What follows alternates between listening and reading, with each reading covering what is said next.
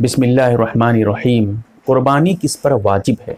यानी किन लोगों के लिए क़ुरबानी करना ज़रूरी है, किन के लिए ज़रूरी नहीं है? इस वीडियो को अगर आप मुकम्मल देखेंगे तो इन तमाम के तमाम मसाइल, क्योंकि जितने सारे मसाइल इसके मुतालिक हैं, सारे मसाइल इसी वीडियो में इंशाल्लाह आपको मिल जाएँगे।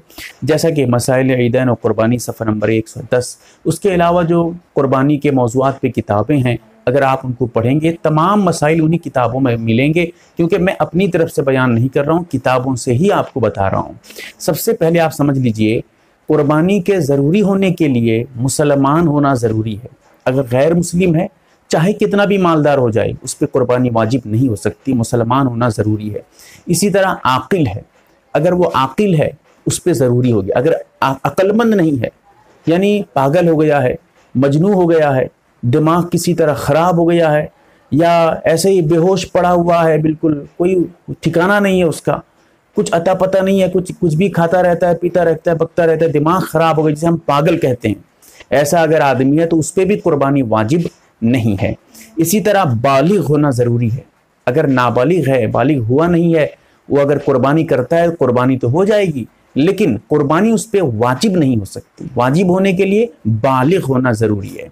इसी तरह मुकीम, अगर वो मुसाफिर है, कहीं इतना लंबा सफ़र किया हुआ है जिससे आदमी मुसाफिर हो जाता है और नमाज़ भी कसर करनी पड़ती है नमाज़ में तो ऐसी सूरत में उस आदमी पे भी कुर्बानी वाजिब नहीं हो सकती। हाँ अगर वो मुसाफिर नहीं है, मुकीम है, ऐसी सूरत में कुर्बानी अगर निसाब तक पहुँच जाए, मालदार इतना हो जाए, आगे बयान करूँगा इन तो उस पर भी कुर्बानी वाजिब हो जाएगी।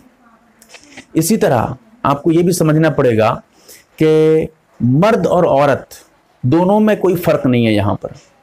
अगर किसी घर में मर्द भी मालदार है, इतना पैसा उसके अकाउंट में मौजूद है, लाख, दो लाख रुपए, इसी तरह औरत के अकाउंट में भी मौजूद है, औरत भी मालदार है तो औरत के लिए भी एक कुर्बानी ज़रूरी है, मर्द के लिए भी एक कुर्बानी ज़रूरी है।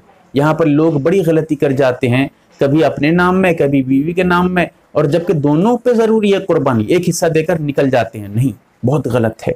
ज़रूरी है जिस पे कुर्बानी वाजिब है, वो अपना हिस्सा, एक हिस्सा कम से कम ज़रूर रखे। यहाँ पर भी एक चीज़ आप समझ लीजिए कि दो अगर ज़रूरी है तो दोनों का अलग अलग हिस्सा, एक हिस्से से दोनों का काम नहीं चलने वाला, अगर वाजिब है कुर्बानी।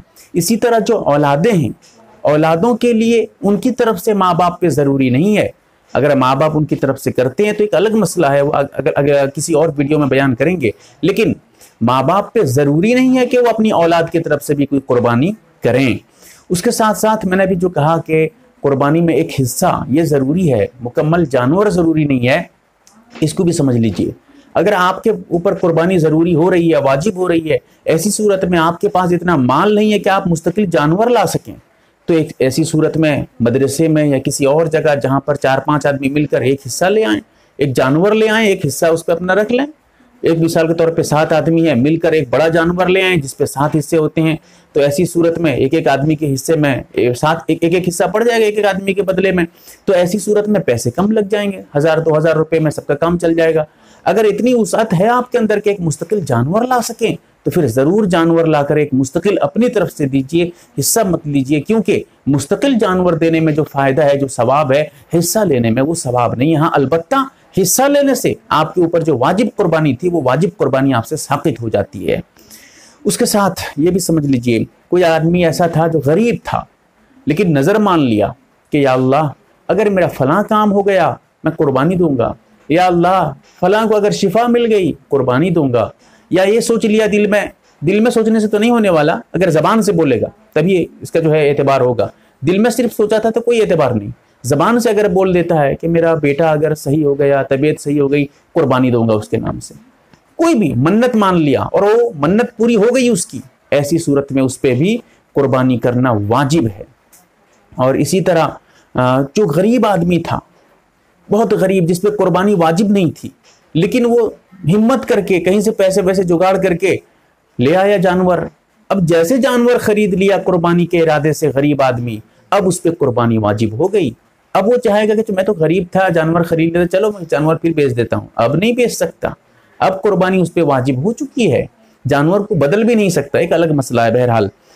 उसके साथ इसी तरह जो मैयत, जो मरने वाला जो इंतकाल कर गए हैं, अगर वो मरने से पहले पहले ज़िंदगी में कभी वसीयत करके जाते हैं, कि अगर मैं मर गया तो मेरी तरफ़ से कुर्बानी दे देना, मुझ पर कुर्बानी वाजिब है या वगैरह वगैरह कुछ भी हो, वसीयत करके जाते हैं कुर्बानी देने के लिए। फिर वो मर जाते हैं। अब ऐसी सूरत में मरने के बाद उनके पास इतना माल बाकी था कि जो वरसा वगैरह सब मामला होता है, कर्ज वगैरह सब करने के बाद वसीयत को देखते हैं। अगर वसीयत को पूरी करने के लिए भी इतना माल होता है जिससे कुर्बानी दे सकें तो ऐसी सूरत में उसकी तरफ़ से भी कुर्बानी देना वाजिब हो जाएगा। इसी तरह, कोई आदमी बहुत गरीब था, पैसे नहीं थे इतना इतना मालदार नहीं था कि जिससे वो साहिब निसाब हो सके, जिससे कुर्बानी वाजिब होती हो। अब लेकिन अयाम कुर्बानी में कुर्बानी की जो तीन दिन होते हैं, तीन दिन में से किसी भी दिन वो मालदार हो गया। कहीं से उसे इतने पैसे मिल गए हदिये के तौर पे या अतिया के तौर पे या किसी भी तरह, बहुत पैसे मिल गए। इतना हो गया, इतना रकम मिल गया, कुछ हो गया, कहीं से आ गया कि वो साहिब निसाब हो गया। अब ऐसी सूरत में उस पर भी कुर्बानी वाजिब हो जाएगी। अगर आखिरी दिन में एक घंटा पहले भी, यानी कुर्बानी का आखिरी दिन, तीसरा दिन उसमें भी एक घंटा पहले अगर वो मालदार हो जाता है तो उस पर भी कुर्बानी वाजिब हो जाती है। इसी तरह एक मसला और बयान कर दूँ यहाँ पर ये मौजू नहीं है।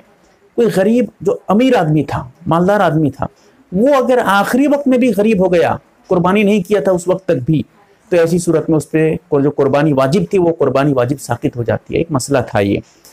उसके बाद एक समझ लीजिए, कुर्बानी का निसाब क्या है? कितना माल होने से आदमी पे कुर्बानी ज़रूरी होती है? देखिए जो जक़ात का निसाब है, वही है, लेकिन इसमें कुछ फ़र्क है। कुछ फ़र्क है, वो समझ लीजिए। कैसे? एक फ़र्क तो यह है, जक़ात के माल में साल का गुजरना ज़रूरी होता है। जब तक एक साल नहीं गुजरेगा, तब तक जक़ात वाजिब नहीं होती है। तो अब अगर कुर्बानी में किसी पे साल गुजरा नहीं है किसी माल पे, यहाँ साल को नहीं देखा जाएगा। उस पर भी कुर्बानी वाजिब हो जाएगी, लेकिन अगर अयाम कुर्बानी में, कुर्बानी के दिनों में अगर वो मालदार है तो कुर्बानी वाजिब है उस पर। तो ऐसी सूरत में अब यहाँ पर साल गुजरना ज़रूरी नहीं होता है, एक फ़र्क ये होता है। दूसरा फ़र्क ये होता है कि हम जो निसाब देखते हैं जक़ात में, उसमें चार चीज़ें देखते हैं। एक है सोना, दूसरा है चांदी, तीसरा है नकद, जो पैसे वैसे पास में होते हैं या अकाउंट में मौजूद होते हैं बैंक वगैरह में, और चौथा है तिजारत। ये चार को हम देखते हैं किसमें? जक़ात में। यहाँ पर वही चार को तो देखेंगे, एक और एक्स्ट्रा आ जाता है। वो क्या है? वो है ज़रूरत से ज़्यादा किसी चीज़ का होना। मिसाल के तौर पे जो ज़रूरत, जिसकी ज़रूरत नहीं है, वो सामान आदमी रखा हुआ है। घर में तीन, चार टीवी ला के रखा हुआ है। हर टीवी की कीमत समझिए दस दस हज़ार रुपये है। चार टीवी समझिए चालीस हज़ार रुपये वहीं पर है। कुर्बानी वाजिब हो गई उस पर क्योंकि वहीं तो चालीस हज़ार रुपये उसके पास ज़रूरत से जायद हैं। ज़रूरत से ज़्यादा जो है उसके पास है। टीवी की कोई ज़रूरत ही नहीं है। इसी तरह बाइक है किसी के पास। बाइक जो हम चलाते हैं गाड़ी तो टू व्हीलर बाइक जो है, वो किसी के पास है, लेकिन एक बाइक है। एक बाइक उसकी ज़रूरत है। उसमें जाना, आना करता है, वो ऑफ़िस वगैरह जाता है, ज़रूरत में इस्तेमाल कर रहा है। ऐसी सूरत में एक बाइक से वाजिब नहीं हाँ। दो बाइक है। एक बाइक तो इस्तेमाल के लिए है, एक बाइक जाहिद है। कभी कभी उसको भी इस्तेमाल करता है, लेकिन एक तो ज़्यादा है, एक से काम चल रहा था। अब दूसरे बाइक की कीमत समझिए, पचास हज़ार की है। अब कुर्बानी वाजिब हो जाएगी। मोबाइल घर में दो मोबाइल रखा हुआ है। एक खुद इस्तेमाल करता है, एक ऐसे ही घर में रखा हुआ है, अपने ही है, किसी दूसरे का नहीं है, अपना है। तो ऐसी सूरत में उस मोबाइल की कीमत अगर इतनी हो जाए आईफोन रखा हुआ था, पचास हज़ार, साठ हज़ार का तो ऐसी सूरत में सोच लीजिए, मसला यही होगा। अगर ज़रूरत के लिए है एक फ़ोन अपने पास है, एक फ़ोन बीवी को दिया हुआ है, अपनी भी ज़रूरत है, बीवी की भी ज़रूरत है फ़ोन की, कोई बात नहीं, उस पर कुर्बानी वाजिब नहीं होगी, और दूसरा माल देखेंगे कितना है, नहीं है। तो ये तो एक ज़रूरत से जायद, जितनी भी ज़रूरत से ज़्यादा सामान उसके पास हैं घर में मिसाल के तौर पे फ़ैन है, ऊपर लगाते हैं। घर पे हर रूम पे फ़ैन लगाया हुआ है। दो फ़ैन अभी एक्स्ट्रा रखा हुआ है। उसकी कीमत समझिए दो दो हज़ार, चार हज़ार रुपए है। जब निसाब का हिसाब करेंगे, चार हज़ार रुपये उसमें भी जोड़ेंगे, क्योंकि वो भी ज़रूरत से ज़्यादा है। इसीलिए इसको भी हमको समझना पड़ेगा। ये भी बहुत अहम नुकता है। उसके बाद ये भी समझिए कि निसाब क्या है। निसाब है, अगर आप सोने का निसाब देखेंगे, सोने का जो हिसाब करते हैं, वो है अठहत्तर ग्राम। एट्टी सेवन सतासी सतासी ग्राम, अठहत्तर नहीं है, सतासी, एट्टी सेवन, सतासी ग्राम, चार सौ अस्सी मिलीग्राम। अगर इतना सोना है तो सोने का निसाब ये है।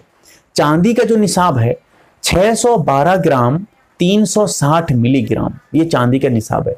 दोनों में से किसी भी निसाब तक अगर आपका माल पहुँच जाता है, सोना, चांदी और जो नकद पैसे आपके पास हैं या फिर आपके पास अगर तिजारत का सामान है, उसको भी हिसाब कर देते हैं। फिर उसके बाद ज़रूरत से ज़्यादा जितना सामान है, इसको भी हिसाब कर देते हैं। ये पाँच सामान, याद रखिएगा, सोना है, चांदी है, जो नकद पैसे आपके पास हैं, बैंक में है वो सब हिसाब कर लेंगे। तीसरा, चौथा सामान है तो तिजारत है, उसका सामान हिसाब कर लेंगे।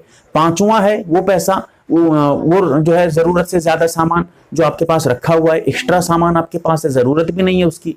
या बिला ज़रूरत ऐसे ही रखे हुए हैं आप उसको, ऐसी सूरत में उसको भी हिसाब करेंगे। ये पाँच सामान हिसाब करके इसका अगर पैसा है तो पैसा, अगर सामान है तो उसकी कीमत।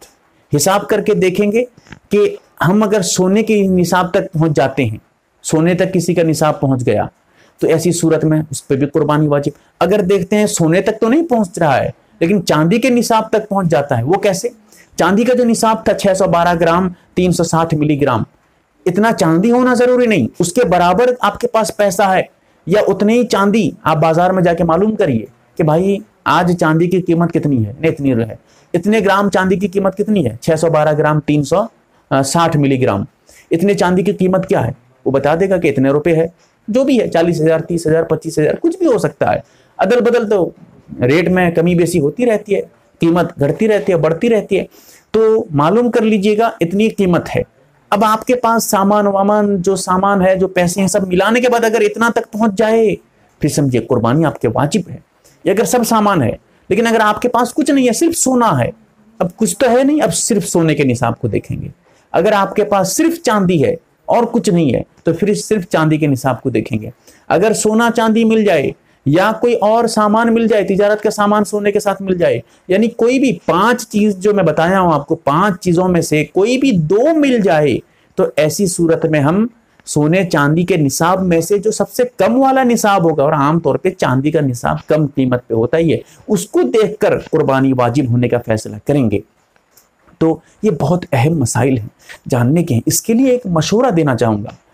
जक़ात के बारे में, क्योंकि इसका ताल्लुक ज़रा जक़ात से भी है जक़ात के बारे में भी आप जान लीजिएगा तो ये मसला आपके लिए बहुत आसान हो जाएगा। वो कैसे?